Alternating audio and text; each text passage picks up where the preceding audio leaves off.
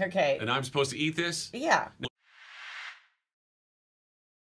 Hang on a second, because you are Judi Diamond, and I'm about to eat a mushroom. This isn't going to make the show really weird No, for you for the next few not hours. that kind of mushroom. Okay, I'm trying to. I'm trying to. That okay. That isn't nothing at all. Oh my god, it's disgusting. No, it's not. I can't even. I can't even chew it. It's good. It's- I feel like I'm chewing on an ear. It is. I can't chew through it. Look at it. I. what do you think of the flavor? But that's the- how beef jerky is. This- you can't beef jerky. I'm throwing that away. It is I'm handing good. you the package, and I'm pushing this button. Okay.